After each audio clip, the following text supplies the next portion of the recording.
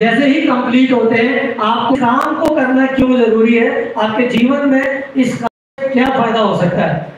जैसे हम fifth level पे आते हैं कंपनी का एक एमरल्ड लेवल है ये, और जैसे ही हमारे साथ 4800 सेल पॉइंट एस में और 2400 एसजीओ में होते हैं, हम एमरल्ड बनते हैं और इनकम आती है हमें उनहत्तर हज़ार रुपए। आपको ग्यारह ग्यारह हज़ार रुपए के आसपास में आपको इनकम आता है। जो खास को मैंने बोला कि क्यों करना हमारी लाइफ में ज़रूरी है? यहाँ पर नौकरी वाले कितने लोग हैं? जरा एक बार हाथ उठाएँगे। नौकरी वाले? अच्छा ठीक।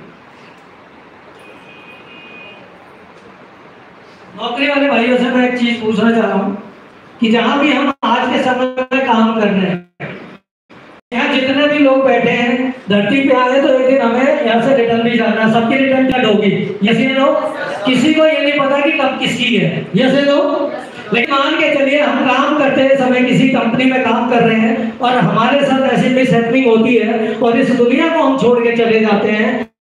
जिस कंपनी के लिए हमने पिछले 10 साल से लगातार मेहनत कर रहे थे, वो कंपनी आपके लिए क्या स्टैंड लेती है? सर जॉब वाले बात, बताएँगे भाई साहब जरा। किसी एक व्यक्ति को ऐसा लग रहा हो कि भाई हमारे साथ ये स्टैंड लिया तो ज़रूर बताएँ। आपकी कंपनी में बहुत सारे वर्कर भी होंगे जो भी जॉब करता है। ऐसा होता है क्या सर? जॉब वाले भाई साहब बताएँ जितने भी जॉब वाले हैं कुछ ऐसा फ़ायदा होता है क्या? कंपनी देती है क्या आपको कुछ ऐसा एक्स्ट्रा देती। है क्या आप लोगों को?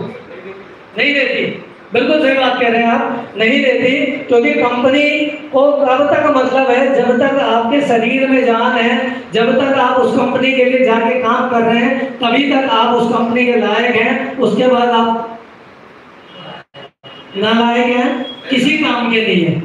या नो लेकिन हमारी संस्था क्या कहती है यहाँ पे कि जब आप यहाँ पे अपनी आईडी लगाते हैं यू के स्थान पे जैसे ही आते हैं, आप ए डब्ल्यू पी एल परिवार का एक हिस्सा बन जाते हैं।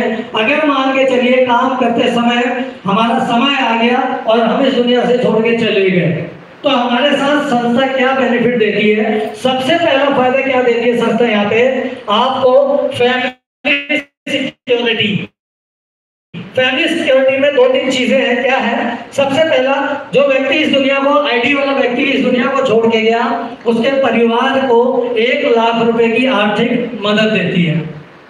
मुझे बताइए मेरे दोस्त आज के समय में अगर हम बात करें तो उस एक लाख रुपए से क्या होता है? परिवार का जीवन चल जाएगा? चल जाएगा किसी का? क्या होता है एक लाख रुपए का कुछ होता है क्या? लेकिन आप सोचिए मेरे दोस्त ये बहुत बड़ी बात है कि उस कंपनी के लिए जिसके लिए आपने कई सालों जीवन लगा दिया।